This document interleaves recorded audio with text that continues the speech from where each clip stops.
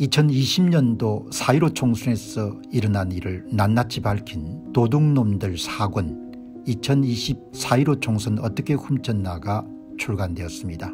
이미 발간된 도둑놈들 1권 선거 어떻게 훔쳤나 도둑놈들 2권 2022년 대선 어떻게 훔쳤나 도둑놈들 3권 2022년 대선 무슨 짓을 했나에 이어서 네 번째 발간된 책입니다.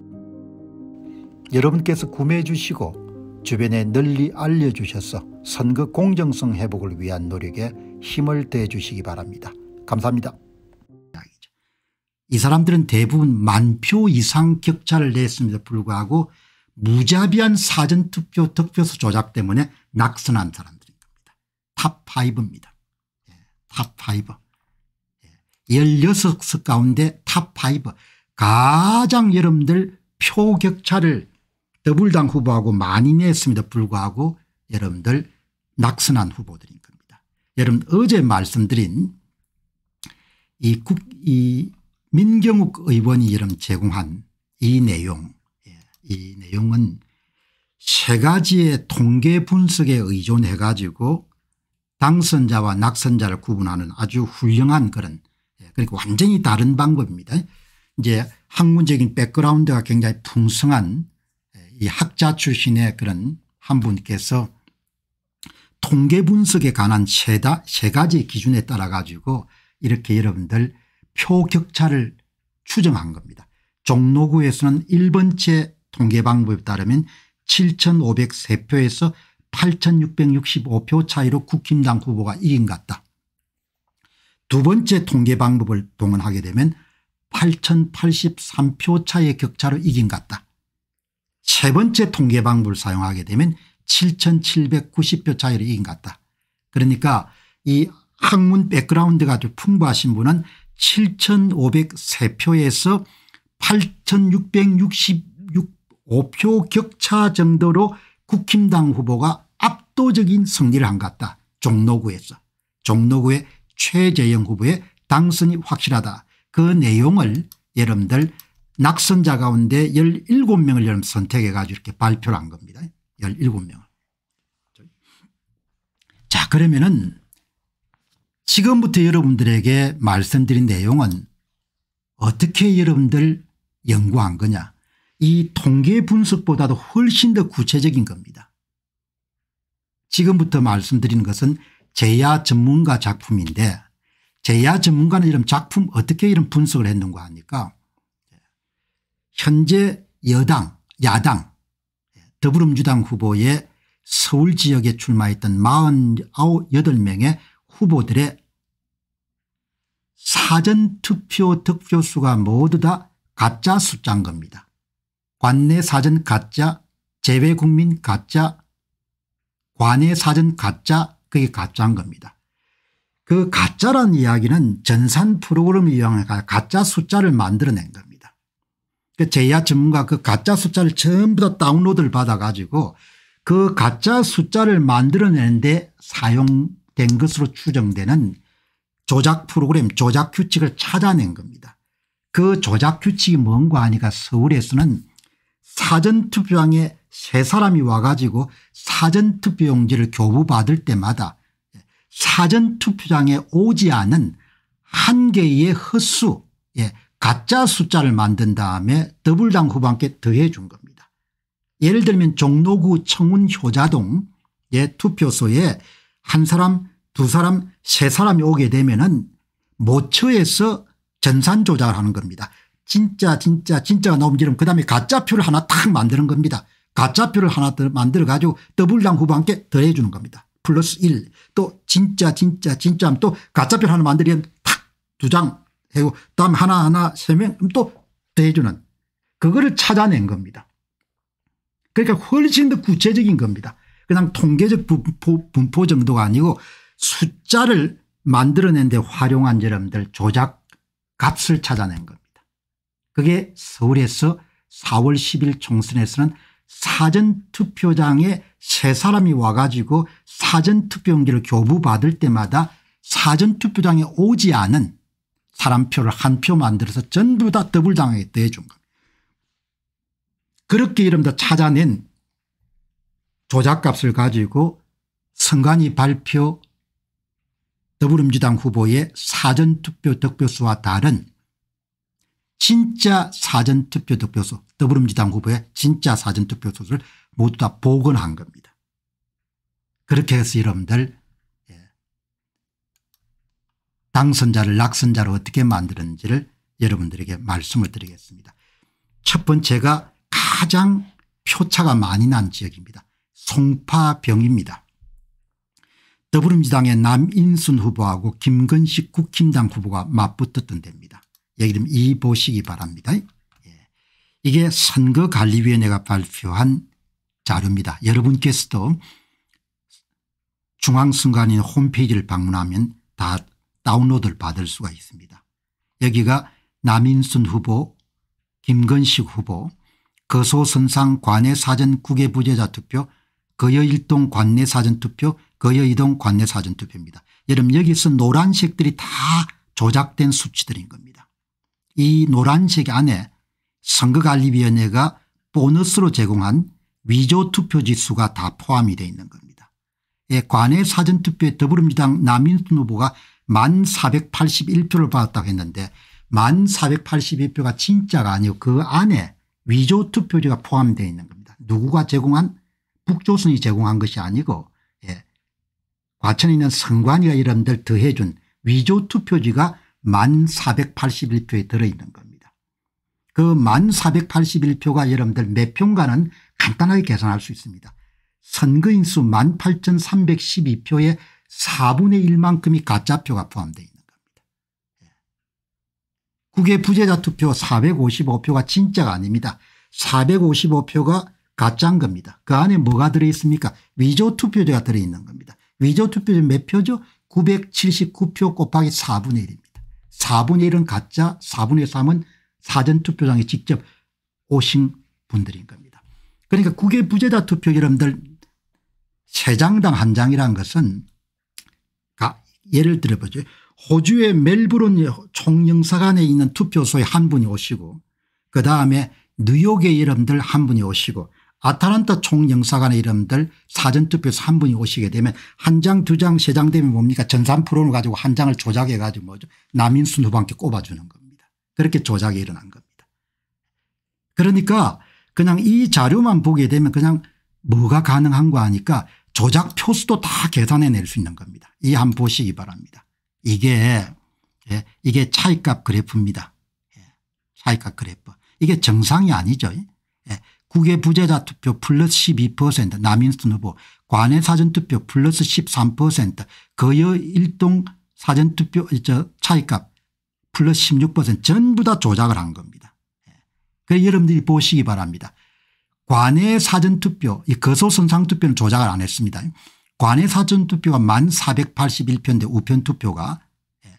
남인순 후보가 1481표를 받았다 그렇게 하는데 이게 진짜가 아니라는 겁니다. 1481표 가운데서 북조선 선관위가 준 게 아니고 과천중앙선관위가 여러분들 남인순 후보와 함께 더해준 위조투표에 들어있는 위조투표에 몇 장입니까 선거인수 18,312표의 4분의 1이 위조투표입니다. 18,312표의 4분의 1이 이름 어디에 있는 거 하니까 여기에 4,578표인 겁니다. 예. 여러분 계산해 보시면 4,578표가 나올 남인순 후보가 국외 부재다 투표를 455표를 받았다고 선관위가 발표했습니다. 그게 여러분들 허위 숫자라는 겁니다. 그 안에 뭐가 들어있는 거 하니까 진짜하고 위조 투표가 들어 같이 있는 겁니다. 그럼 위조 투표를 몇 표인가 예. 455표를 낳게 된 선거인 수 979표에 4분의 1을 곱하게 되면 정확하게 245표가 나오는 겁니다. 예. 그럼 진짜는 몇 표입니까 남인순의 제외 국민투표 발표 숫자 455 빼기 예, 공짜표 245 빼면 은 여러분 그게 진짜 표가 나옵니다. 진짜는 4장당 3장이기 때문에 4분의 3 가짜는 4분의 1인 겁니다. 이렇게 전부 숫자를 다 만든 겁니다. 그렇게 해서 예 계산을 해보게 되면 은 남인순 후보가 8만 358표를 받았다. 이렇게 발표한 겁니다. 김건식 후보는 7만 7,072표를 받았다. 이게 전부 다 가짜인 겁니다. 8만 358표 가운데 가짜 위조 투표지가 몇 표 있는 거 아니까 18,461표가 들어있는 겁니다. 그럼 진짜가 얼마입니까 1,358표 빼기 18,461표라면 남인순 후보가 받은 진짜 득표수가 나오는 겁니다. 이렇게 전부 다 조작을 한 겁니다. 이 내장당 세장당 한 장을 이렇게 여러분들 다 집어넣어 준 겁니다. 관내 관내 어떤 선거구 같은 경우는 관내하고 관내가 다르기 때문에 이렇게 별도로 분리를 한 겁니다. 분리를 한 겁니다. 이게 여러분 다 예, 18,461표의 위조 투표지가 어디서 다 여러분들 더해지게 됐는지가 다 나오는 겁니다. 우편 투표에 3,578표를 더해줬고 국외 부재자 투표에 245표를 더해줬고 거여일동 관내 사전투표에 813표를 받고 표를 받는 사람은 모두 다 더불당 후보의 남인순 후보지 김건식 후보는 아닙니다. 대한민국 공직선거 이름 조작 방식은 간단하지 않습니까 사전투표를 부풀리고 위조 사전투표지 수를 만든 다음에 전부 다 더불당 후보한테 더해주는 겁니다. 예. 한 표도 땅에 떨어지지 않고 한 표도 김건식 후보 국민의 후보에게는 가지 않는 겁니다. 그래서 이런 그 결과를 딱 여러분들 분석하게 되면 이런 그래프가 나오는 거죠. 18,461표를 더해 준 겁니다. 투표소에 오신 분은 사전투표에 오신 분은 5만 5,383명입니다. 사전투표에서는 오신 분하고 선관위가 만든 가짜 위조투표지하고 합치면 은 선관위 발표 사전투표는 7만 3,844표가 나오는 겁니다. 이렇게 여러분들 조작을 해온 겁니다. 그래서 성부가 여러분들 1만 8천 표를 집어넣었기 때문에 어떻게 이기겠습니까 김건식 후보가 만표 이상 차이를 냈는데도 불구하고 패배를 한 겁니다. 예, 밑에가 이름 진짜입니다. 진짜 사전투표 득표수를 후보별을 구해가 보면 은 김건식 후보가 15,181표 차이로 승리한 선거였습니다. 그런데 1만 8천 표를 집어넣어 가지고 남인순 후보가 3286표 차이로 승리한 것으로 선관위가 발표한 겁니다. 김건식 후보가 여러분들 이거를 접하더라도 절대 항, 항의 안 할 겁니다. 예. 그게 이런 대한민국의 교수 출신들이 갖고 있는 일종의 정직성 문제인 겁니다. 정치는 계속 하고 싶고 그냥 선관위 뭡니까 그냥 깔아뭉개는 겁니다. 예. 이렇게 이러면 정리가 되는 겁니다. 15,181표를 승리한 후보를 3,286표 차이로 여러분들 패배한 것으로 만들어버린. 선거가. 예. 이 18,461표를 만들어내기 집어넣어줬기 때문에 그래프가 이렇게 나오는 겁니다. 왼쪽이 선관위 그래프인 겁니다. 사전 빼기 당일 사전투표수를 18,461표를 집어줘 놓으니까 좌우 대칭에 어마어마하게 뚱뚱한 저런 그래프가 이렇게 나오는 겁니다. 표를 더해줬습니까 그 분석을 통해 여러분들 18,461표가 하늘에서 내려온 것이 아니고 다 분석이 되는 겁니다. 사전투표장에 오신 분은 선거인수 기준으로 25%인데 33% 이런 뻥튀를 한 겁니다. 8.36%를 여러분들 뻥튀기 한 겁니다. 이게 이런 규칙을 사용했기 때문에 다 발각이 되는 겁니다. 선거는 숫자입니다. 예. 이 사람들이 숫자를 조작했기 때문에 다 이렇게 발각이 된 겁니다. 그러니까 김건식 후보가 굉장히 잘 싸웠습니다. 당일 투표에서 54대 44로 승리한 겁니다. 그런데 사전투표를 선관위가 어떻게 조작했는가 하니까 57대 41로 더불당 후보가 이기도록 만든 겁니다. 그렇게 승부가 이런 바뀌게 되는 겁니다. 그 조작을 했기 때문에 왼쪽을 보시기 바랍니다. 선관위 발표들을 보시게 되면 사전 빼기 당일이 남인순 더불당 후보는 플러스 13%입니다. 김건식은 마이너스 13%입니다. 예. 어마어마하게 조작을 한 거죠. 예. 플러스 13 마이너스 13은 그냥 제가 미친 숫자로 하지 않습니까 사전투표가 당일투표 이름들 모집단이 수만 명인데 어떻게 이름들 13% 10, 마이너스 13%가 차이가 나는 겁니까 예. 이렇게 이름들 조작을 해가지고 성부를 다 만들어냈다 이렇게 보시면 되겠습니다. 자 그럼 여러분들 보시기 바랍니다.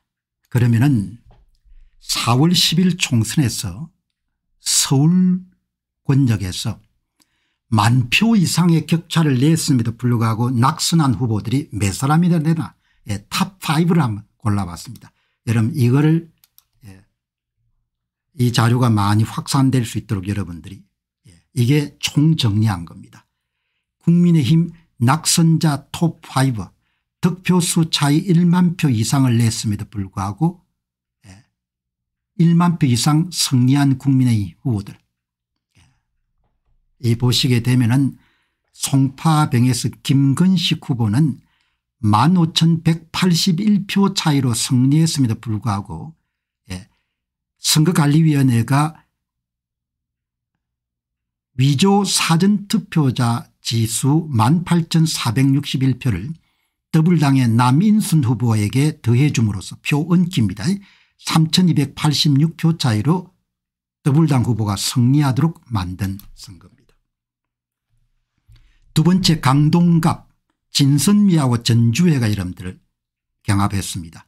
전주회 후보가 14,394표 차이로 승리했음에도 불구하고 선거관리위원회가 사전투표율을 선거인수 기준으로 8.89%로 여러분들 뻥튀기 부풀린 다음에 위조 투표지 17,706표를 좀 확보해 가지고 더불어민주당의 진선유 후보에게 사전투표장에 세 사람이 올 때마다 한 표씩을 더해줬다.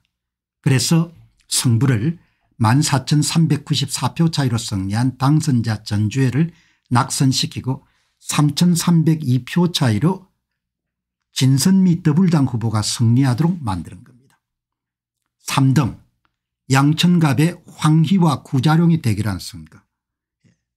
이 선거에서는 구자룡 후보가 14,273표 차이로 승리했음에도 불구하고 선거관리위원회는 사전투표율을 8.49%를 부풀려서 위조 사전투표지 16,600표를 조성한 다음에 사전투표장에 세 사람이 올 때마다 가짜 투표지 한 장씩을 황희 더불당 후보에게 더해줘 가지고 총 16,600표를 더해줘 가지고 승부가 14,274표 차이로 승리한 구자룡 국힘당 후보를 낙선시키고 2326표 차이로 황희 후보가 당선되도록 만들었다 이렇게 보시면 되는 겁니다. 4등 예.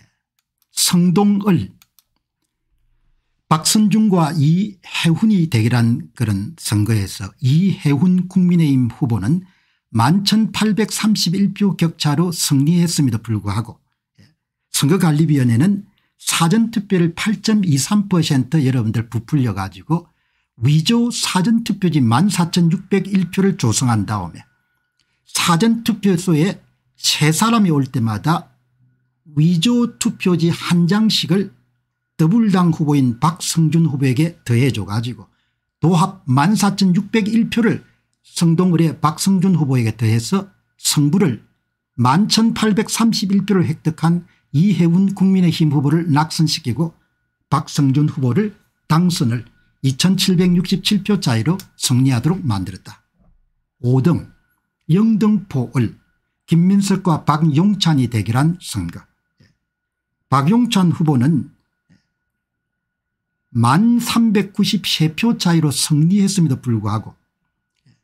선거관리위원회는 사전투표를 선거인수 기준으로 8.15% 정도 부풀린 다음에 위조 사전투표지 11,529표를 조성해서 사전투표장에 세 사람이 올 때마다 한 표씩을 더불당 김민석 후보에게 더해주는 방식을 사용했고 결과적으로 1393표를 얻은 박용찬 국민의힘 후보가 낙선되고 1135표 차이로 더불당의 김민석 후보가 당선되도록 만들어 주었다. 모든 방법은 다 여러분들 사전투표 득표 조작으로 사전투표 표를 대주는 겁니다. 여기 밑에 보시게 되면 송파병에서는 김건식 후보가 당일 투표에서 54대 44로 이겼음에도 불구하고 18,461표를 더해 가지고 사전투표에서는 남인순 더불당 후보가 57대 41로 이기도록 그렇게 만들어준 겁니다. 여러분 줄친 걸 비교하시면 됩니다. 전주의 후보는 당일 투표에서 54대 43으로 승리했음에도 불구하고 54%대 43%입니다. 득표율. 선거관리위원회는 17,706표의 위조 투표지를 진선미 후보에게 더해 가지고 사전투표 득표율을 57%대 40% 조작했다. 그러니까 여러분 보시게 되면 전부가 다 비슷합니다. 54 54 54 54 55 잘 싸웠다는 겁니다. 당일 투표에서 54% 55% 여러분들 받는다는 것은 아주 잘 싸운 겁니다. 그러나 전부 다 뒤집어 버리는 겁니다. 예, 만표 이상을 집어넣어 가지고 예, 57 57 57 57 57 그러니까 뭐 여기서 냄새 풍 나지 않습니까 이렇게 여러분들 정리를 해 가지고 top 5 예, 국힘당에 1만 표 이상 정도로 격차를 내는 정도로 예, 당일 투표에서 55%대로 상당히 선전한 그런 후보들을 모두 다, 다 낙선시킨 겁니다. 예. 득표수 차이 1만 표 이상을 만들어냈음에도 불구하고 예. 국민의힘 후보들이 다 여러분들 낙선이 된 겁니다. 이렇게 여러분들 보시게 되면은 예, 뭐 또 이런 이야기 가지고 뭐죠 뭐 저 훈련이 안 돼 있는 사람들은 뭐 그냥 또 딴소리 안 하겠습니까 그 사람들은 끝까지 딴소리 할 거니까 이렇게 선거를 무자비하게 조작을 하는 겁니다. 이거 이렇게 여러분들 정리를 하시면 좋겠습니다. 자 그럼 그 다음에 계속 나아가지고 그럼 국힘 낙선자 톱 10입니다. 예, 5천 표 이상 승리한 사람들 5천 표도 어마어마하게 큰 거죠. 예, 6등부터 10등까지입니다. 6등부터 10등까지 예, 보시게 되면 여러분 16석이 승부가 바뀌었습니다. 사전투표 득표수 조작 예, 구체적으로 이야기하면 사전투표율을 부풀려서 실제 사전투표율과 발표 사전투표를 부풀려 가지고 위조 사전투표지를 만든 다음에 서울 지역에서 사전투표장에 세 사람이 올 때마다 위조투표를 한 장씩 투입해 가지고 성부를 바꾼 예, 모두 16자리입니다. 16자리 가운데 지금까지 5자리를 여러분들 소개해 드렸고 지금부터는 6등부터 10등까지입니다. 6등부터 10등까지를 여러분들에게 말씀을 드리도록 하겠습니다. 참고로 이번 선거에서 여러분들 48석 가운데 선관위 발표는 37석을 민주당이 차지하고 국힘당이 11석을 차지했다 이렇게 이야기하는데 제야 전문가의 진짜 사전투표자 수를 추계를 해보게 되면 성부가 27대 21 국힘당이 27석 더불당이 21석인 겁니다. 그러니까 결론적으로 보면 16석을 사전투표를 조작해 가지고 여러분들 당락을 바꾼 경우에 해당하는 겁니다. 자, 이 보시게 되면은 예, 이게 이제 이 보시죠. 이게 이제 동작갑입니다. 동작갑 김병기 장진영 예. 장진영 국힘당 후보가 5192표 차이로 승리했음에도 불구하고 예, 선거관리위원회가 사전투표를 8.92% 부풀려 가지고 위조 사전투표자 수 16,065표를 만들어 가지고 그것을 더불당의 김병기 후보와 함께 전부 다 더해줘 가지고 성부를 바꿔버린 겁니다. 9192표 차이로 승리한 후보를 낙선시키고 더불당 후보인 김병기 후보를 6874표 차이로 승리하도록 만든 겁니다. 당일 투표에서는 예, 국힘당 후보가 51대 43으로 이겼습니다. 불구하고 사전투표에서 더불당 후보가 57대 38로 승리하도록 그렇게 승부를 조작한 경우에 해당하는 겁니다. 7등 광진을 예, 고민정과 오신안이 이름 대결한 구도에서 오신환 후보는 9188표 차이로 승리했습니다. 불구하고 예, 선거관리위원회가 사전투표를 선고한 선거관리위원회가 사전투표율을 선거인수 기준으로 8.71% 뻥튀기 해가지고 13,203표를 위조 사전투표 지수로 확보한 다음에 사전투표장에 세 사람이 올 때마다 한 표씩을 더불당의 고민정 후보에게 더해줘 가지고 고민정 후보가 9188표로 패배했음에도 불구하고 예. 패배했음에도 불구하고 4015표 차이로 승리한 것으로 그렇게 승부를 만들어버린 겁니다. 다음 8등은 중구 성동구 갑입니다. 전현희 후보하고 윤희숙 후보가 이름 대결한 그런 선거였습니다. 윤희숙 후보가 8703표 차이로 승리한 선거였습니다. 그런데 선거관리위원회가 사전투표율을 8.41% 부풀린 다음에 실제와 발표 사전투표율 격차만큼 15,179표에 위조 사전투표지를 확보해 가지고 그걸 전부 다 더불당의 전현희 후보와 함께 집어넣어 가지고 최종적으로 전현희 후보가 8703표 차이로 패배한 후보였음에도 불구하고 6478표 차이로 승리한 후보로 만들어버린 겁니다. 윤희수 후보는 당일 투표에서 53대 40으로 승리했지만 사전투표에서 59대 40으로 이렇게 패배함으로써 성부가 이름 바뀐 경우에 해당합니다. 다음 구등은 광진갑입니다. 이정현 후보하고 김병민 후보가 이름 대결한 구도에서 이 김병민 후보가 7228표 차이로 승리를 거뒀음에도 불구하고 선거관리위원회는 사전투표를 선거인수 기준으로 8.29% 부풀려서 위조 사전투표지 12,455표를 조성한 다음에 사전투표장에 세 사람이 올 때마다 한 장에 위조 투표지를 이정현 더불당 후보에게 더해 주는 방식을 사용해 가지고 성부를 바꿔버린 겁니다. 7228표 차이로 승리한 김병민 국민의힘 후보를 낙선자로 만들고 이정현 후보가 5224표 차이로 승리한 후보로 만들어버린 겁니다. 다음은 열 번째 도봉을입니다. 오기형 후보와 김선동 후보가 여러분들 대결한 구도고 김선동 후보는 2020년 4.15 총선에서도 사전투표 득표 조작으로 억울하게 낙선의 고배를 마신 분입니다. 자, 김선동 후보가 6251표 차이로 좀 승리한 선거였습니다. 그런데 선거관리위원회가 사전투표율을 8.44%로 뻥튀기를 해가지고 위조 사전투표를 11,952표를 조성한 다음에 사전투표소에 세 사람이 올 때마다 위조 사전투표지 한 장씩을 오기영 더불당 후보에게 전산 프로그램을 사용해서 더해주는 방식으로 그렇게 성부를 조작하게 됩니다.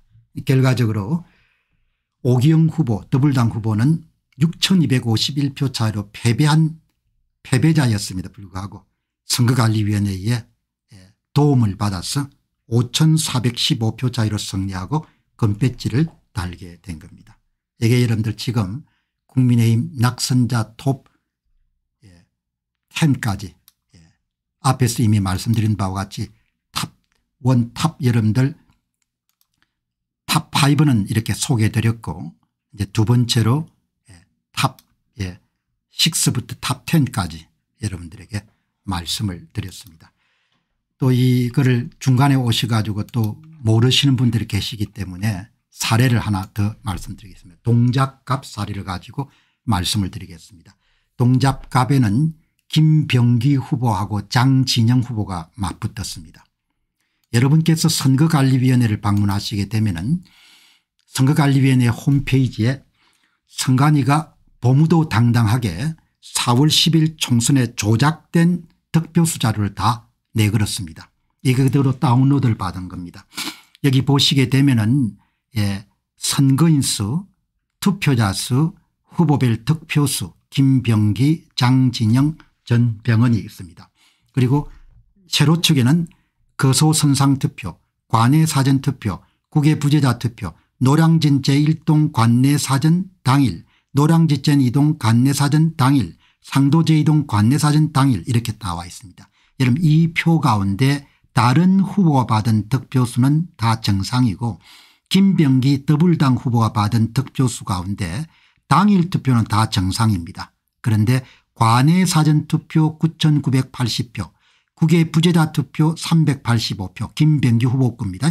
노량진 제1동 김병기 후보 관내 사전투표 득표수 2738표 노량지체 이동 더불어민주당 후보 관내 사전투표 득표수 2439표 이게 전부 다 조작이 된 수치인 겁니다. 지금 여러분이 보시게 되는 더불어민주당 후보의 김병기 후보의 사내 투표 사전투표 득표수가 전부 다 뭡니까 오염된 자료인 겁니다. 진짜가 아니라는 겁니다. 그게 가짜라는 겁니다. 그 안에 이름 노란색이 있는 그 소위 더불당의 김병기 후보가 받은 표 안에 뭐가 들어있습니까 선거관리위원회가 사전투표를 부풀려 가지고 조성한 위조 사전투표 주소가 그게 다 들어있는 겁니다. 예를 들면 은 우편투표 보시기 바랍니다. 우편투표의 더불당 김병기 후보의 관내 사전투표 득표수가 9980표라고 발표를 했습니다. 발표 김병기 관내 사전투표 9980표가 이게 거짓이라는 겁니다. 이게 사실이 아니란 겁니다. 그러면 9980표에 가짜 투표지가 몇 표나 들어있습니까 바로 이 앞을 보시면 선거인수 예, 관내 사전투표 선거인수 16,986표에 4분의 1이 가짜인 겁니다. 예. 여러분 4분의 1이 가짜가 들어있는 겁니다. 그러니까 여러분들 보시게 되면 그 가짜가 몇 표인가 하니까 예 4247표입니다. 김병기 더불당 후보가 받은 우편 투표 득표수 9980표 가운데 4247표가 선거관리위원회가 여러분들 더해준 위조 투표지인 겁니다. 진짜는 몇 표다 9980 빼기 4247표인 겁니다. 이렇게 여러분들 계산을 해낼 수 있는 겁니다. 선거관리위원회가 발표한 더불어민주당 후보의 사전투표 득표수 가운데 4분의 3이 진짜 사전투표장에 직접 오신 분이 던진 표입니다. 4분의 1이 뭡니까 가짜인 겁니다. 서울에. 예. 노량진 제1동의 김병기 더불당 후보가 받은 사전투표 득표수 2738표가 가짜라는 데 오염이 됐다는 겁니다. 예. 그럼 2738표 가운데 위조 투표자가 몇 장이냐 앞에 보시게 되면 선거인수 5052에 4분의 1이 뭔가 하니까 1263표의 위조 투표자 들어있는 겁니다. 2738 빼기 1263이면 진짜가 나오는 겁니다. 사전투표장에 직접 오신 분들인 거죠. 이렇게 이러면 계산이 되는 겁니다. 그러니까 이 선거인수 선거인수에 비례해서 조작이 이루어지는데 선거인수는 후보별 득표수 더하기 무효표 더하기 기권표입니다. 그러니까 비례대표에 130만 표 이런 들 무효표가 들어갔다는 이야기는 그만큼 조작을 많이 했다는 거예요. 조작하기 위해서 무효표가 필요한 겁니다. 예. 수원정에 이런 무효표가 4608표가 들어간 겁니다. 예. 이수정 뭐 프로파일런가 무슨 뭐 파일럿 부론가 하는 사람 예. 4608표입니다. 어마어마하게 많은 겁니다. 4608표면은 투표자 수의 4%를 넘습니다. 일반적으로 1% 이내거든요.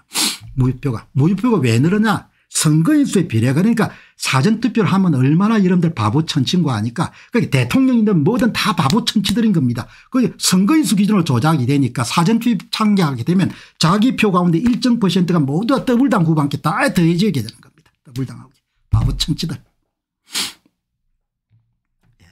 이렇게 돌아가는 겁니다. 상도 제2동에 더불어민주당의 김병기 후보가 관내 사전투표 득표수가 3372표인데 그게 오염이 됐다는 겁니다. 3372표에 예, 4분의 3이 진짜고 4분의 1이 가짜인 겁니다. 그러면 얼마가 이름 가짜인 겁니까 6207표에 4분의 1 1552표가 더해진 겁니다. 3372표 빼기 1552표 진짜 사, 사전 상도 이동 관내 사전투표 득표수고 1552표가 가짜 표인 겁니다.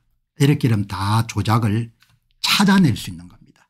왜 찾아낼 수 있느냐 전산 프로그램 조작 규칙을 사용해서 이런 표를 만들었기 때문에 이렇게 찾아낼 수가 있는 겁니다.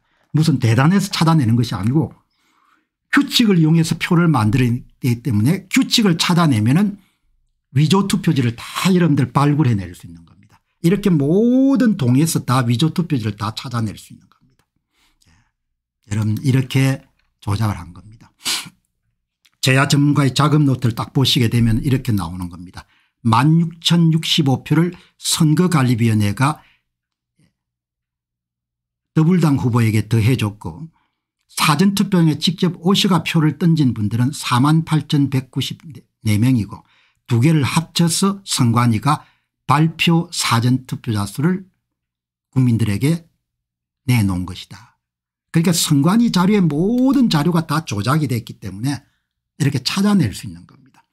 조작 프로그램을 이용해 숫자를 만들었기 때문에 이게 다 그래 장진영이 9192표 차이로 승리했는데 6874표 차이로 패배한 걸 만든 거예요. 16,000표를 쑤셔 넣은 겁니다. 16,000표를. 예. 사전투표에 세 사람 올 때마다 한 장씩 집어넣어 준 겁니다. 16,065표를. 사전투표에 세 사람이 투표하면 한 장씩 위조투표지를 투입한 겁니다. 그 사전투표를 하면 다 자리세를 내는 겁니다. 통행료를. 음. 그래서 이런 선거를 이런 식으로 다 이게 다 이름들 뭐죠 이게 선관위가 만든 작품인 겁니다. 이런 짓을 10년 넘게 해오고 있는 겁니다. 이거를 윤 대통령이 다 덮고 넘어가자는 겁니다. 거의 뭐 맨정신으로 이해할 수 있겠습니까 이 B는 여러분들 실제로 사전투표장에 오신 분 숫자입니다. 예, 동작국갑에서. 예. 실제로 이런 왔기 때문에 이 48,194표를 발표해야 되는 거죠. 선관위가. 근데 6만 4,258표를 발표한 겁니다. 숫자를 다 만들었다는 이야기죠. 그래서 이런 조작을 이렇게 해가지고 성부를 만들어낸 거죠. 예. 장진영 후보가 5만 6천 표 김병기 더블당 후보가 4만 7천 표 장진영 후보가 9,192표 차이로 승리한 선거인 겁니다. 그거를 선거관리위원회가 표를 더해줘 가지고 1만 6천 표를 더해줘 가지고 6,874표 차이로 승리한 것을 만든 거죠. 네. 이 표를 16,000표를 만들기 위해서 CCTV 다 여러분 가리고 사람들이 개수하지 못하게 가려가지고 예, 사전투표를 뻥튀기 한 겁니다. 여기 보시게 되면 은 사전투표를 실제로 선거인수 기준으로 26.73%입니다. 그런데 이거를 선관위가 35.64%로 뻥튀기 한 겁니다. 8.92% 부풀리게 한 겁니다. 그렇게 해서 16,065표를 만들어낸 겁니다.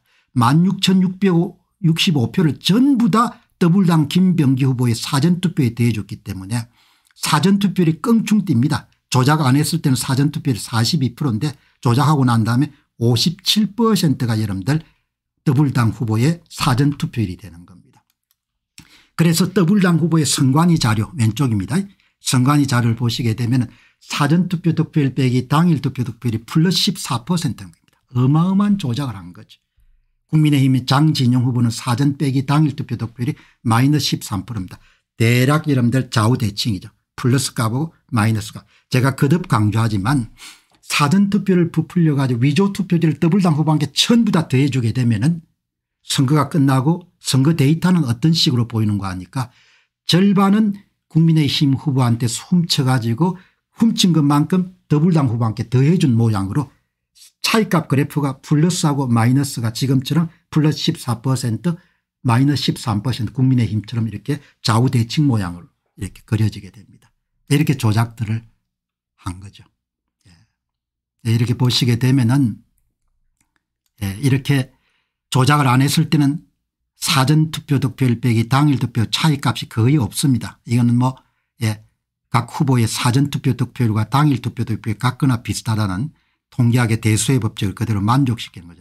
이게 조작을 하게 되면 밀어준 쪽에는 플러스 14% 훔친 쪽에는 마이너스 13% 되는 겁니다. 이 표를 여러분들 더해줬기 때문에 이 선관위 발표된 자료의 사전투표 득표율 빼기 당일 투표 차이값 그래프 엉망진창인 겁니다. 뚱뚱하고 좌우대칭으로 이렇게 예 거의 인공미 예 기계적인 아름다움이 이렇게 드러나는 거. 이 조작을 한 겁니다. 표를 만들어 줬으니까. 예. 여기서 찾아낸 세 장당 한 장을 대줬다는 걸 찾아낸 다음에 위조되지 않는 상태를 구하게 되면 이렇게 플러스 마이너스 값이 여러분들 오가고 전반적으로 뭐죠 아주 작은 차이값이 나오는 겁니다. 이렇게 전부 다 조작을 한 겁니다. 선거를. 예. 거듭 말씀드리지만 선거는 숫자입니다. 예. 선거는 결국 숫자이기 때문에 숫자는 과학의 영역이고 분석의 영역인 겁니다. 그래서 이 사람들이 이렇게 지적하더라도 뭐 변호나 이런 걸 할 수 없는 왜 숫자를 조작했기 때문에 지금 와가지고 숫자를 전부 전부 다 뭐 이런 차이값 1, 2 정도는 조작해 가지고 이러면 다시 수정하겠지만 전부적인 틀을 숨길 수가 없는 겁니다. 이렇게 조작들을 다 해가지고 성부를 다 이렇게 만들어낸 겁니다. 음. 여러분 눈에는 간단하게 보이지만 역대 선거를 아주 여러분들 열심히 해왔기 때문에 예, 국힘당의 탑10이 예, 이 보시게 되면 6등부터 7등까지 예, 여러분들 방송 끝나고 나면은 예, 이 잘라가지고 여러분들 좀 많이 공유시키시기 바랍니다. 여러분들이 자르는 기능을 사용해 가지고 이렇게 여러분들 1등부터 10등까지 여러분들에게 발표를 드린 겁니다. 예.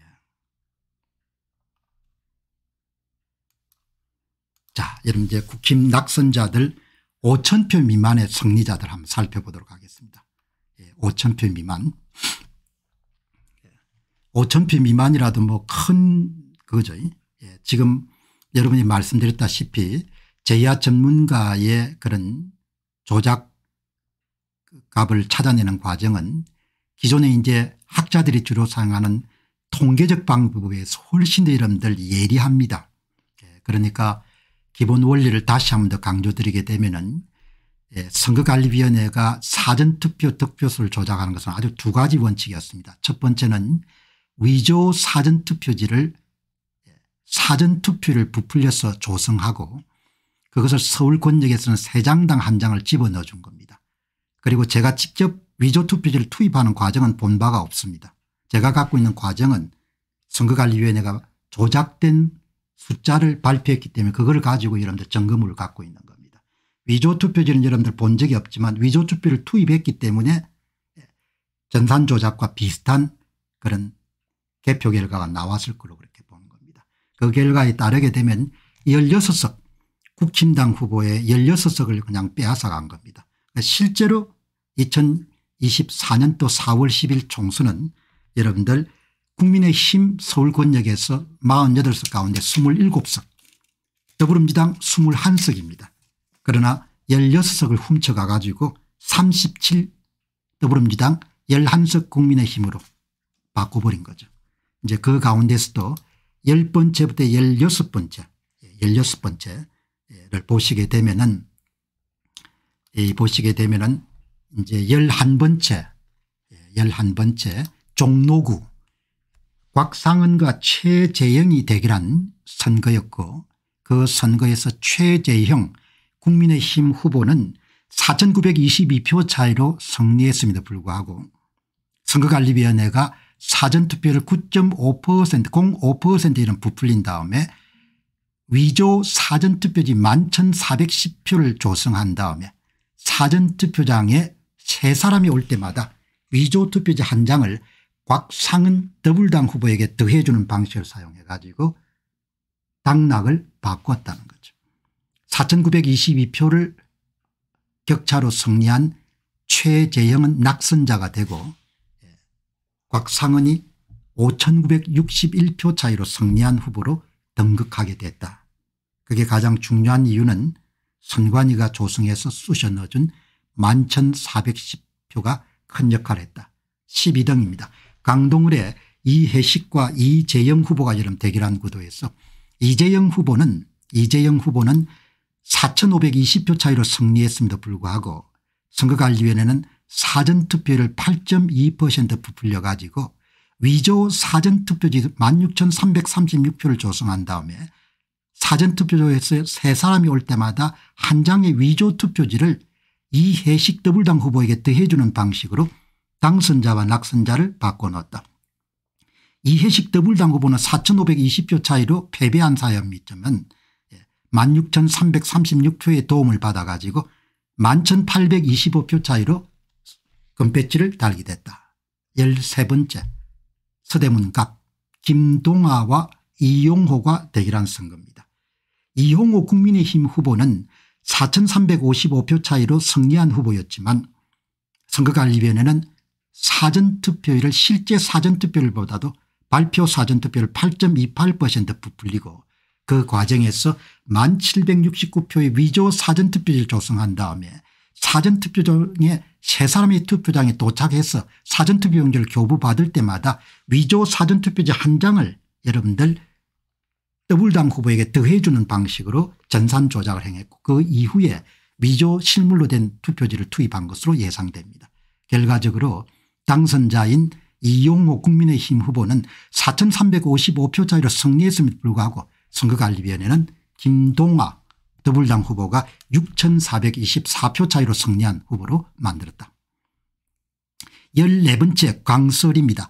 진성준과 박민식이 이름 대결한 구도에서 박민식 국민의힘 후보는 2549표 차이로 승리한 후보였지만 선거관리위원회는 사전투표를 선거인수 기준으로 8.06% 이름들 부풀린 다음에 위조 사전투표지 13,791표를 조성하고 사전투표장에 세 사람이 올 때마다 한 장에 위조 투표지를 더불당의 진성준 후보에게 더해주는 방식으로 2463표 차이로 승리한 박민식 국민의힘 후보를 낙선자로 처리하고 선거관리위원회는 진성준 후보가 11,247표로 승리한 후보로 만들었다. 이 모든 과정에서는 사전투표자 수를 쑤셔 넣는 사전투표 득표율을 조작하는 방식이 사용됐고 강서울 경우에는 박민식 후보가 51대 47로 당일 투표에 승리했음에도 불구하고 사전투표에서 선거관리위원회는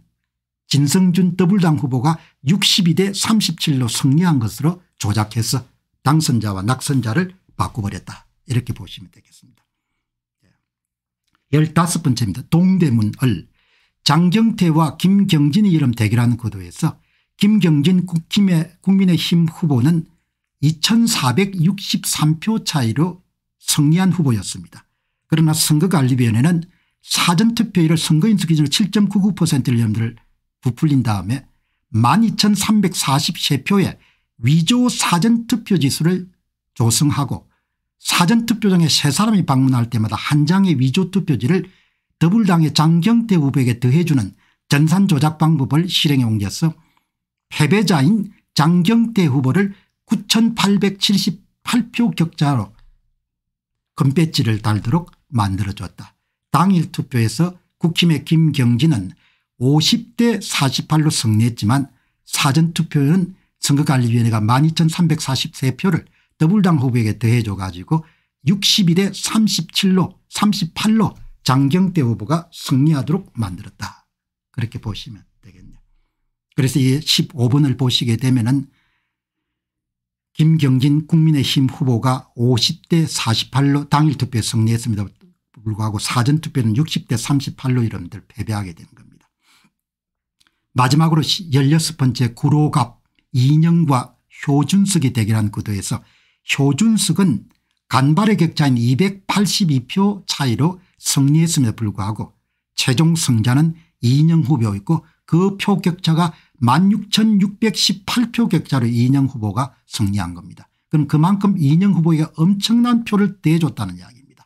다시 이야기하게 되면 선거관리위원회는 사전투표 득표율 선거인수 중 8.19%를 부풀린 다음에 16,804표의 위조 사전투표지를 조성해 가지고 사전투표장에 세 사람이 올 때마다 한 장의 위조 투표지를 더불당의 이인영 후보에게 더해주는 방식을 사용해 가지고 282표 차이로 패배한 후보를 일약 16,618표 차이로 승리한 후보로 압승한 후보로 만들어줘 가지고 이인영 후보가 금배지를 달게 됐다.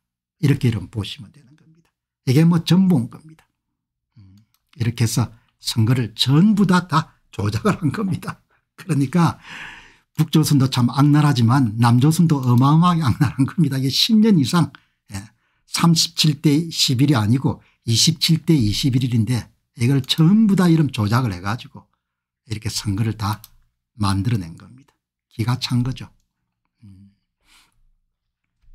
오늘 이 방송을 또 처음 보시는 분들이 계시기 때문에 이번 서울 권역에서 48개 지역구에서 위조 투표제가 가장 많이 투입된 게 이 세 군데입니다.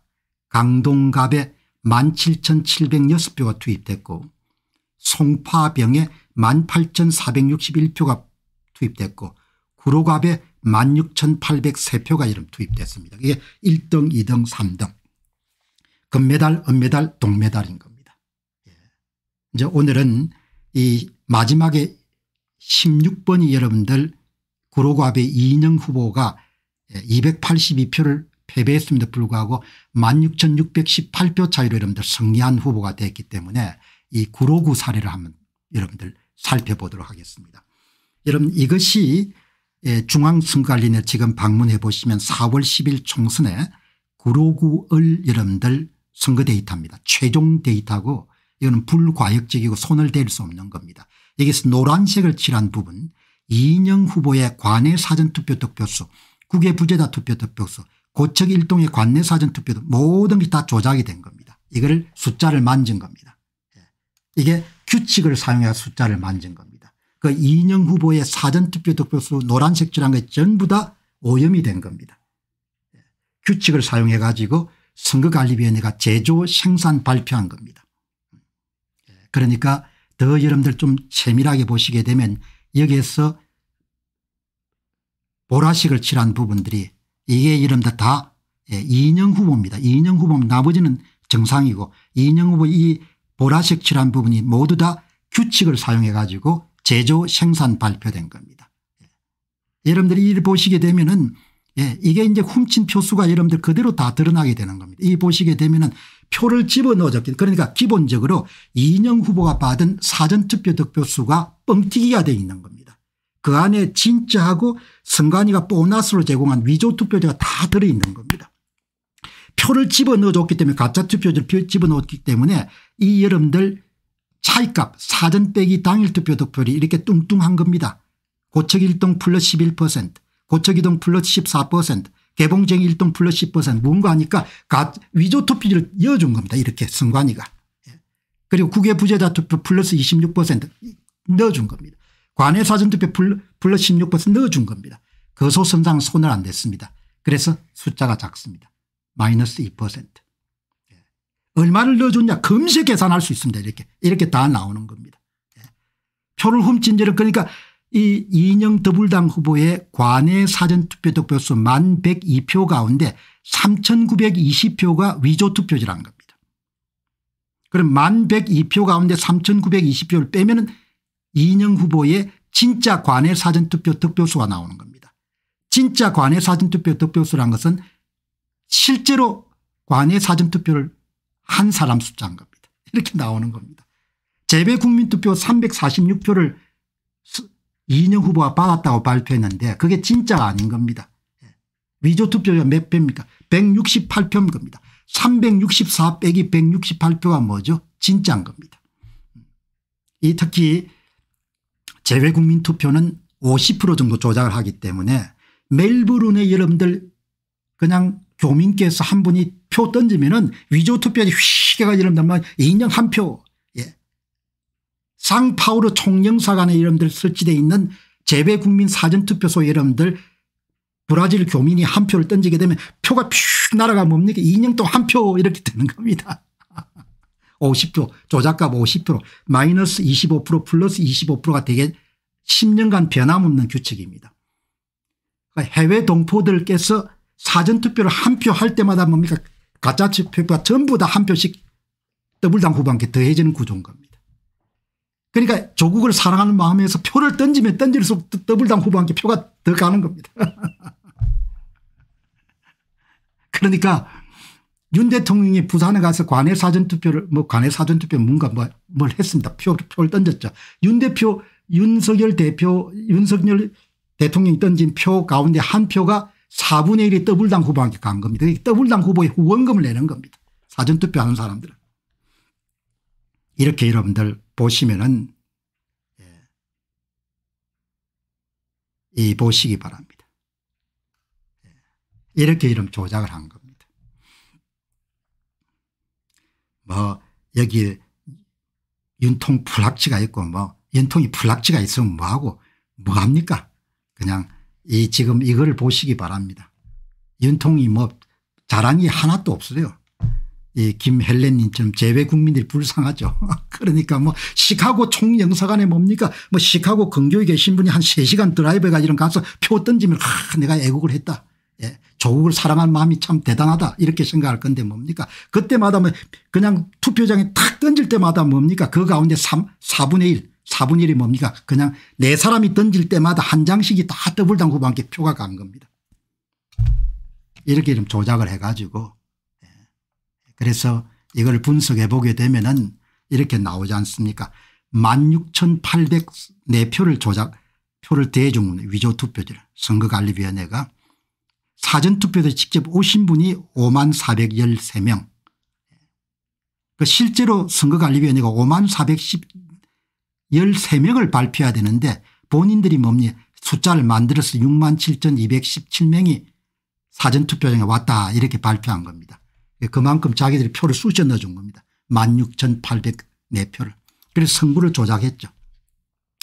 이인영이 6만 3,378표 호주석이 6만 3,660표로 호주석 국민의힘 후보가 282표 잘 이겼는데 표를 16,804표를 넣어가지고 16,918표 차이로 이인영 후보가 승리한 것으로 이렇게 만들어버린 거죠. 예. 표를 집어넣어 줬으니까 여러분들 엉망진창입니다. 이 보시기 바랍니다. 그래프가 왼쪽이 선관위 자료입니다.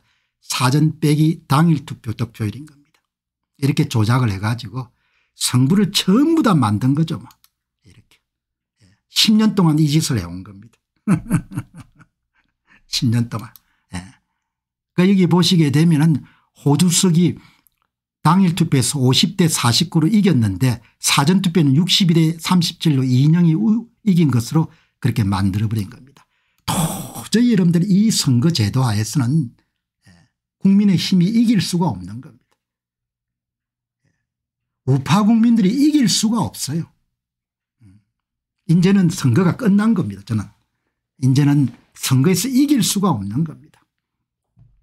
예. 이게 여러분들 뭘 이야기하는 거 하니까 더 이상 선거를 이길 수가 없는 겁니다. 선거를. 이제 선거를 그냥 덜덜이 서는 거고 선거 결과는 그 사람들이 다 만드는 겁니다. 그러니까 국민들은 그냥 가두리 양식장에 갇혀 가지고 세금만 직사게 내고 뭔가 살다 가야 되는 거죠. 예. 이 보시기 바랍니다. 여기 한나님께서 외국산 내 동생 가족들이 다 선거했다고 자랑했었는데 미안합니다. 너무나 불편한 진실을 말씀을 드렸어. 예. 한나님께서 이 방송을 한번 다음에 오늘 방송 마치고 나면 잘라가지고 이렇게 내보내니까 그걸 동생들한테 한번 보내주시기 바랍니다. 예. 외국 살면 뭐 각별하지 않습니까 나라에 대한 사랑이 예. 그 마음을 누구든지 다 이해를 하는 거죠. 예. 뭐 한국 사람이면 다 현대자동차를 보면 뭐죠 늘 기분이 좋고 예. 그런 카스코나 아니면 이런 데 삼성 TV나 이런 걸 보면 너무나 자랑스럽지 않습니까 예. 예. 그러니까 얼마나 여러분들 자랑스럽습니까 지금 이제 K푸드가 이런 많이 유행돼 가지고 라면들이 얼마나 불, 불튀게 이런 팔리고 김은 또 얼마나 많이 팔립니까 그러니까 얼마나 여러분들 한민족 역사에서 이렇게 자랑스러울 때가 없었지 않습니까 음. 저는 요즘에 IT 분야를 좀 자주 들여다보면서 야 어떻게 우리 역사에서 이렇게 삼성전자와 SK 하이닉스 같은 회사들이 그냥 그 AI 데이터 센터를 돌리는데 가장 핵심 부품을 이렇게 팔 수 있게 됐을까 너무나 대단한 나라다. 예. 그리고 호암 이병철이나 아산 정주영 같은 분이 어떻게 그렇게 혜안이 있어 가지고 회사를 키우게 됐을까 그런 생각하게 되는 거죠. 그러나 나라 내부를 보게 되면 이렇게 10년 이상 이런 선거를 도둑질 해가지고 그냥 이거를 뭡니까 노다지 뭐죠 예. 교민들이 여러분들 미국은 넓기 때문에 4시간 5시간 드라이브가 여러분들 선거하시는 분도 많으실 겁니다. 예. 그런 분들 표를 전부 다 도둑질을 해가지고 이렇게 여러분 이게 뭘 이야기합니까 이 보시기 바랍니다.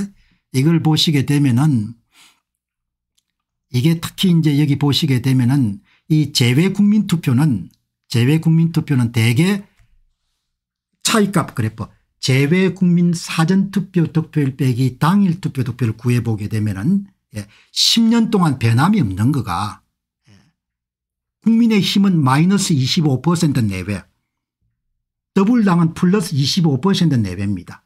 무슨 말인가 하니까 국힘당의 사전투표 투표자 수의 25%만큼 훔쳐가지고 더불당에 더했다는 겁니다. 합치면 50%입니다. 조작값 50%라는 이야기는 다르게 이야기하면 예, 전산 프로그램으로 해석하게 되면 사전투표장에 한 사람이 올 때마다 한 표씩 뭡니까 더블당 후보한테 더해 주는 겁니다. 멜브론 여러분들 총영사관에 설치된 제외 국민투표 여러분들 사전투표장에 한 사람이 지금 호주 교민이 와가 표를 던지게 되면 정확하게 한 표가 전산당으로 뭡니까 BC의 속도로 뭐죠 더블당 후보한테 한 표가 꽂히는 겁니다. 베를린 총영사관에 뭐죠 예를 들면 그게 설치가 돼 있으면 한 표가 뭐, 뭐 오사카 총영사관 한 표가 있으면 딱한 표씩 뭡니까 한 사람 한 표 한 사람 한 표 한 사람 한 표씩 다 하는 겁니다. 그렇게 여러분들 선거를 조작해 온 겁니다. 10년째 변함이 없습니다. 재외국민 투표는 한 50% 정도를 계속해서 훔쳐온 거죠. 여러분 오늘 어, 이렇게 마무리를 이제 하게 됐습니다. 이게 예, 저 보시게 되면 1등부터 5등 예, 그래서 서울권역에서 4월 10일 총선에서 16석을 사전투표 조작을 통해 가지고 빼앗긴 겁니다. 16석을 16석을 예, 빼앗긴 것을 아주 상세하게 여러분들 제가 분석을 제외 제야 전문가 도움을 받아 가지고 정리해서 말씀드린 겁니다. 그래서 선관위 발표는 37대 11이지만 실제 선관위가 여러분들 사용한 조작 득표수를 제거하게 되면 27대 21로 국힘이 이긴 겁니다. 그러니까 무슨 뭐 민심이 어떻고 이렇게 해서 좀 조아리는 국민의힘 사람들을 보게 되면 당신들의 그 비겁함과 소심함과 예, 그 이기심이 예, 나라와 국민과 후손들에게 치유할 수 없는 그런 고통과 아픔을 줄 것이다. 그렇게 내가 이야기하고 싶은 겁니다.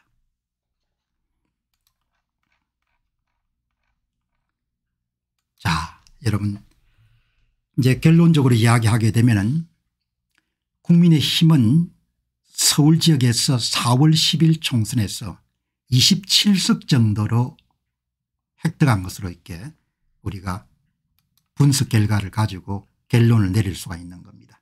여기 보시게 되면 16석 지금 여러분이 보시는 것 가운데서 이 노란색 부분은 다 예, 당락을 바꾼 경우입니다. 사전투표 득표수 조작 예.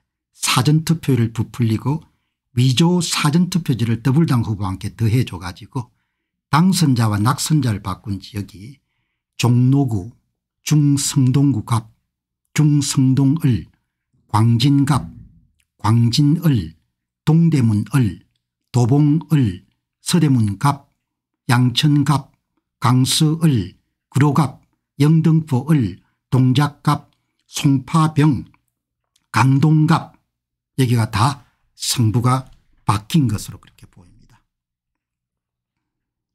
그리고 이것은 37대 11이 아니고 27대 21이 나와야 될 그런 선거 결과다 이렇게 보십니다. 이 결과에 대해서 의문이나 의심을 가지신 분도 계시겠지만 사전투표를 조작해서 위조 투표지를 만들어 투입하게 되면 은 궁극적으로 숫자를 조작해야 됩니다. 후보의 사전투표 득표수를 조작해야 되고 사전투표 득표수를 조작하는데 예, 무작위가 아니고 규칙을 사용하게 되면 정확하게 여러분들 후보별 사전투표 득표수에 조작에 활용한 규칙이 남아있게 됩니다. 그것을 여러분들 찾아내게 되면 조작되지 않는 상태의 후보별 사전투표 득표수가 다 복원이 되는 겁니다. 복원이 되면 진짜 당락이 결정되는 것이죠. 선관위가 발표한 당선자와 낙선자가 아니고 진짜 당선자와 낙선자가 누구인가가 이렇게 밝혀지게 되는 겁니다. 16석을 여러분들 의심을 하게 되는 그래서 앞에서 쭉 말씀드렸지만 한번 정리하는 의미에서 16석이 어디냐라는 부분들은 국힘의 top 16을 예, 여기 보시게 되면 뭐 이게 이거는 없애야겠네요. 예, 격차에도 불구하고 낙선자가 된 예, 격차를 냈음에도 불구하고 낙선자가 된 후보군은 여러분이 보시다시피 이 송파병 강동갑 양천갑 성동을 영등포을 이것은 예, 선거관리위원회가 사전투표를 부풀려 가지고 더불당 후보에게만 특별하게 더해준 예, 표수입니다. 예, 흔히 표 더하기 혹은 표 얹기라고 얘기하겠죠. 여기 수정치는 예, 조작되지 않는 상태에서 국힘당이 상대방을 무찌른 득표수 격차입니다. 그리고 이것은 사전투표가 조작이 돼 가지고 당선자와 낙선자가 바뀐 그런 더불당 후보가 승리한 득표수 이렇게 정리가 되고 동작갑 광진구을 중구 성동구갑 광진구갑 도봉을 여기서도 마찬가지로 여기서 추가된 사전투표자 수는 예, 더불당 후보에게 더해진 수치입니다. 흔히 표 더하기 혹은 표 얹기라고 이렇게 이야기하죠. 그리고 여기서 부풀린 사전투표율은 부풀린 사전투표율은 선거인수 기준입니다. 선거인수 기준으로 6위부터 7위 예, 그 다음에 이제 11등부터 16등까지는 예, 종로구 강동을 서대문갑 강서을 동대문을 구로갑 예, 이게 추가된 사전투표자 수가 예, 그러니까 이거는 뭐 다르게 이야기하게 되면 선거관리위원회가 허위로 만든 숫자들입니다. 예, 투표장에 오시지는 않았는데 허위로 만든 숫자들인 거죠. 허위로 만들었으니까 사기를 친 거죠. 예, 사기를 친 거. 사전투표장에 오지 않은 분 사전투표장에 오신 분들은 실제 사전투표자 수 실제 사전투표율인데 그거를 부풀려 가지고 발표 사전투표자 수 발표 사전투표를 일부러 만든 거죠. 그리고 실제 사전투표를 모르도록 cctv를 여러분들 다 가리고 그다음에 캠코더 촬영을 금지하고 통합 선거인 명부를 만들어가 선거인 명부를 다 없애버리고 그렇게 다 한 거죠. 이렇게 여러분 정리하시게 되면은 이 16석 16석 가운데 거의 전부가 성부가 바뀐 것 같다. 이렇게 여러분들 보시면은 뭐 한 채 오차도 없을 겁니다. 숫자를 그렇게 경시해 가지고 이렇게 다 드러나게 된 거죠. 자 국민이 뽑는 거는 맞냐 이야기죠. 유감스럽게도 불행히도 국민이 국회의원을 뽑는 것이 아니고 국민이 대통령을 뽑는 게 아닌 거죠. 예, 대한민국 공직선거를 막 그냥 칼같이 이야기하게 되면 은 그냥 선관위가 특정 정당과 야합해 가지고 전산 프로그램 돌리고 투표관리관 도장에 인쇄나리를 이용해 가지고 위조 투표지 쑤셔 넣고 그렇게 해서 여러분들 다 선거 결과를 만드는 겁니다. 이 어마어마한 사건 앞에서 우리가 예, 이 보시게 되면 은 이거를 좀 다르게 볼 수 있는 방법입니다. 제야 H님이 전수 분석하신 겁니다. 전국에 3405개 예, 달리 이야기하게 되면 더불당이 후보를 내지 않은 지역을 빼게 되면 깨끗하게 뭐죠 예, 차이값 그래프가 모든 읍면 등에 다 거의 플러스 값이 나옵니다. 예. 표를 더해 줬으니까 관내 사전투표를 항상 당일 투표 득표율보다 사전투표 득표율이 높을 수밖에 없는 거죠. 예, 국민이 뽑는 게 아닙니다. 국민이. 국민이 뽑는 게 아니다는 것은 대한민국이 아니라는 것 대한조작국이라는 이야기입니다. 간단하게 이야기하게 됩니다. 국민이 뽑지 않으니까. 국민이 뽑지 않는 걸 국민이 뽑는 것처럼 그렇게 폼을 줬고 이런 국민들에게 사기를 친 거지 않습니까 그래서 선거 사기라고 부르지 않습니까 예, 그래서 이 보시게 되면 벌써 오늘 서울의 49개 지역 가운데서 성부가 바뀐 16개를 발표하기 전에 다른 지역도 여러분들 한번 볼만할 겁니다. 왜 그런가 하니까 강남은 얼마나 조작을 했는지 예, 그런 걸 다 이제 앞으로 살펴보겠지만 인천광역시는 선관위가 더불당이 12 그럼 국힘당이 두석이라 했지만 조작하기 이전으로 다 복원해 보면 은 더불당이 7석 국민의힘의 7석인 거죠. 예. 그러면 나라가 나라가 아닌 겁니다. 나라가 완전히 넘어가 버린 겁니다. 예. 이 대전광역시 보시기 바랍니다. 선거관리위원회는 7대 0으로 더불당이 압승했다 했지만 진짜 구해보면 4대 3입니다. 더불 4석 국민의힘 3석인 겁니다. 이렇게 전국의 모든 선거구에 다 예, 선거 사기를 친 겁니다. 이거를 덮을 수 있다는 이야기는 양심이 마비가 됐다는 겁니다. 그래서 윤 대통령의 양심이 마비가 된 겁니다. 뭐 윤 대통령 호불호 문제를 떠나가지고 정상적인 인간으로 할 수 없는 겁니다. 이걸 덮을 수 있다는 이야기는 어마어마하게 양심이 뭡니까 강철로 무장되어 있는 겁니다. 예. 국민의 이익과는 관계없는 겁니다. 이게 여러분들 정리가 된 겁니다. 그래서 오늘 방송을 마무리하기 전에 기존에 이미 다 나왔지만 복습하는 의미에서 이게 인천광역시 선거 결과인 겁니다. 예. 이게 보시게 되면은 인천광역시에서 국민의힘 후보가 승리한 7개 지역입니다. 7개 예. 지역 가운데 2개 지역만 승자로 판별됐고 나머지는 사전투표 득표수 조작을 인해 가지고 다 패배한 겁니다. 인천 중구 광안 웅진 배준영 후보가 2만 8,347표로 승리했는데 12,521표를 선거관리위원회 더불당 후보에게 더해 줌으로써 15,826표 차이로 승리한 것으로 격차폭이 크게 줄어들었다. 동구 미추홀을 남영희와 윤상인 이름 대결한 구도에서 윤상인 후보가 12,186표로 승리했음에도 불구하고 선거관리위원회가 11,161표를 남영희 후보에게 대해줌으로써 승부 격차가 1025표 차이로 축소됐다 이렇게 볼 수 있는 거죠. 나머지 다섯 개 지역은 승부가 바뀝니다. 득표수 조작을 통해 가지고 여기 동구 미추홀은 심재돈 국민의힘 후보가 2924표짜리로 승리했음에도 불구하고 13,296표를 선거관리위원회가 사전투표를 부풀려 가지고 위조투표지를 전부 다 더불당 후보인 허종식 후보에게 더해줌으로써 허종식 후보가 1372표 차이로 승리한 겁니다. 2924표 차이로 패배한 허종식 후보가 사전투표 득표수 조작에 힘입어 가지고 1372표 차이로 승리한 그런 선거인 겁니다. 연수구 갑도 승부가 바뀐 경우입니다. 국민의힘 후보가 3839표 차이로 승리했지만 7117표 차이로 더불당 후보가 이런 승리한 것으로 승부가 조작된 경우입니다. 어김없이 선관위는 1956표의 위조 투표지를 더불당 후보와 함께 더해 준 겁니다.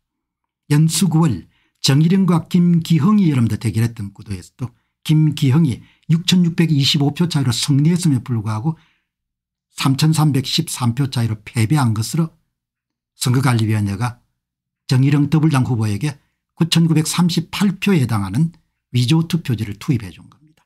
특히 연수구은 민경욱 전 의원의 지역구였기 때문에 우리가 좀 더 관심을 가지는 거죠. 남동구을도 40표 차이로 승리한 후보가 12,582표 차이로 패배한 걸로 계양구을도 367표 차이로 승리한 후보가 7,749표 차이로 패배한 걸로 그렇게 이렇게 나오는 겁니다. 예.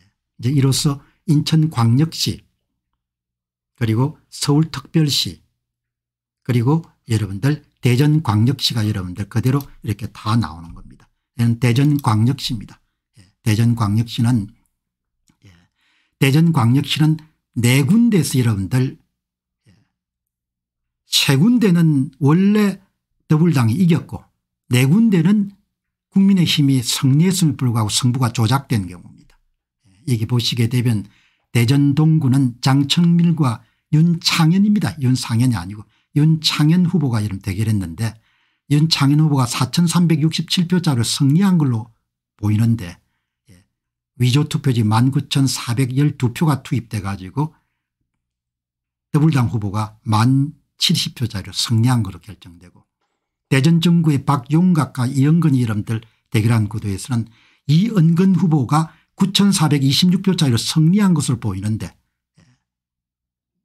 선거관리위원회가 사전투표율 7.5%를 부풀리고 위조 사전투표율 14,663표를 박용갑 더불당 후보와 함께 전부 다 더해 줌으로써 당선자와 낙선자가 바뀌어서 5,337표 차이로 이영근 후보가 낙선이 됩니다. 예, 그러니까 이영근 후보는 9,426표니까 굉장히 큰 폭으로 승리했는데 낙선이 되는 거죠. 대전 서구월도 양홍규 후보가 138표로 승리했는데 더불당의 박범계 후보와 함께 14,053표 위조투표제가 투입되면서 박범계 후보가 14,020표 차이로 승리한 겁니다. 대전 대덕구도 박경호 후보가 3074표 차이로 승리했는데 7618표 예, 차이로 패배한 것으로 그렇게 나온 거죠. 예. 이렇게 뭐 성부가 여러분들 이제 뭐 이런 것이 다 여러분들 앞에서 말씀드렸다시피 그냥 표를 더해 주기 때문에 사전투표자 수를 만들어 가지고 표를 더해 주기 때문에 이런 성부가 나오는 겁니다. 그러니까 이제 이런 표를 보면서 아 이 표하고 이제 연계관계를 여러분들이 이해하실 수가 있어야 되는 거죠. 표를 더해 줬기 때문에 더불당의 차이값 사전 빼기 당일 투표 득표율이 전부 다 플러스가 나오는 겁니다. 이런 그래프가 왜 나오냐 표를 더해 줬으니까 여기 표를 더해 준 게 나오지 않습니까 이게 표를 표를 더해 주니까 표를 더해 주니까 여러분들 이런 다 이게 나오는 거죠. 표를 더해 줬으니까 이런 그래프가 나오는 겁니다. 전부가 다. 음. 표를 더해 줬으니까 여러분들 이렇게 13.16 12.98 이렇게 차이값이 천문학적으로 큰 게 나오는 겁니다. 표를 대해줬으니까 모든 전국의 읍면동에서 다 사전투표 득표율이 당일 투표보다 더 큰 겁니다. 2017년 423대 1 2022년 425대 0 서울 2020년 420대 0 이게 여러분들 왜 나옵니까 대전 79대 0 81대 0 79대 0 사전투표 득표율이 전부 다 더블당은 다 당일 투표 득표율 높은 거예요. 표를 더해줬으니까 표를 표를 더해줘가 이렇게 성부를 전부가 다 조작을 하는 겁니다. 표를 더해줘 가지고. 표를 다 더해줘 가지고 여러분들 이렇게 예. 다 여러분들 이렇게 정리를 예. 이게 이게 최종이네 이게 이게 최종 이 최종을 보시는 게 더 낫겠네. 자 이렇게 예, 참 예. 그래 이렇게 되기 때문에 이제 이번에 서울 지역도 16사기 이런 뺏긴 것이 다 드러난 거죠. 국힘에서 예, 이렇게 이 격차 이다 승부를 조작해 쑤 셔 넣은 표지 않습니까 선거관리위원회가. 예. 이 성부가 어떻게 바뀌었는지 국힘당 후보가 이렇게 이긴 성부를 16대에서 어떻게 이런 표를 이만큼 집어넣어 가지고 성부를 조작한 지가 다 나오는 거죠. 그러니까 이렇게 여러분들 전부가 다 이제 일관되게 정리정돈이 된 겁니다. 아, 여러분들 큰일 오늘 했습니다. 갑자기 여러분 주제를 바꾸기 좀 그런데 그래도 예, 오늘 방송 준비했으니까 또 선거만 하고 마치기가 그러니까 예, 이제 안녕하십니까 공병호입니다. 그동안 공병호 tv는 선거 공정성 회복과 자유민주주의 체제의 보존과 발전을 위해 노력해왔습니다. 이런 노력들이 지속될 수 있도록 공병호 tv의 전기 후원 프로그램이자 멤버십 프로그램을 소개해드립니다. 뜻 있는 분들의 관심과 동참을 부탁드립니다. 선거 공정성 회복을 위한 노력을 지지하시고 훌륭한 나라 만들기에 동참하시는 시청자분들이시라면 구독 버튼 바로 옆에 있는 가입 버튼을 통해서 정기 후원 프로그램에 가입할 수 있습니다. 가입 버튼을 누르시면 공병호TV의 후원자가 되시게 됩니다. 여러분의 후원이 선거 공정성 회복을 위한 노력에 힘을 더할 수 있을 뿐만 아니라 자유민주주의 체제의 수호를 그리고 발전을 통해 여러분과 후손들의 삶에 빛과 소금이 될 것입니다. 특히 그동안 공병호TV는 선거 공정성 회복을 위한 노력 과정에서 채널 성장에 제약이 가해지는 불이익을 감수해왔고 지금도 그런 불이익이 계속되고 있습니다.